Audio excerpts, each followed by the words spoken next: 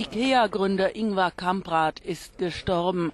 Das teilte die Konzernführung in Stockholm mit.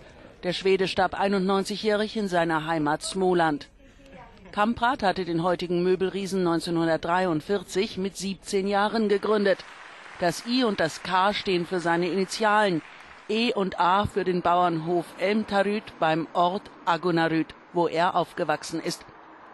Seine Möbel, die zunächst in handliche Pakete verstaut werden konnten, eroberten die Wohnzimmer der Skandinavier und dann die der ganzen Welt. In über 40 Ländern kann man inzwischen Billigregale kaufen. Aktuell betreibt IKEA 348 eigene Einrichtungshäuser und 45 Einkaufszentren.